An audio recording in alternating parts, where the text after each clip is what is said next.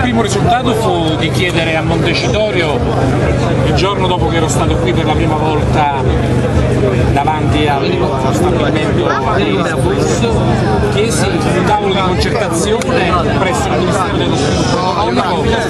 al Presidente della Camera Fini. Il Presidente della Camera Fini fece la richiesta al Ministero dello Sviluppo, tanto è vero che il mercoledì successivo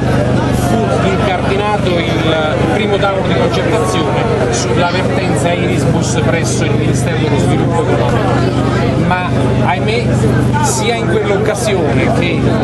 in, altre, in, altri incontri che si sono sempre tenuti presso il Ministero dello Sviluppo Economico abbiamo avuto sempre un grande assente, cioè non c'era rappresentanza del governo,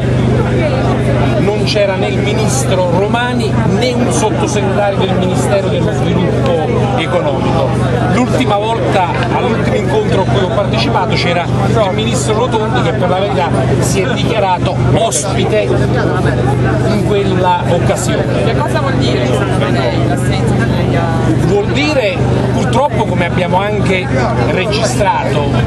l'altro ieri tra le parti sociali che sono incontrate a Palazzo Chicci e ieri nell'informativa che abbiamo avuto dal governo in Parlamento da Tremonti sulla manovra economica per l'Italia abbiamo notato ai noi che questo governo non ha una politica economica, non ha una politica industriale.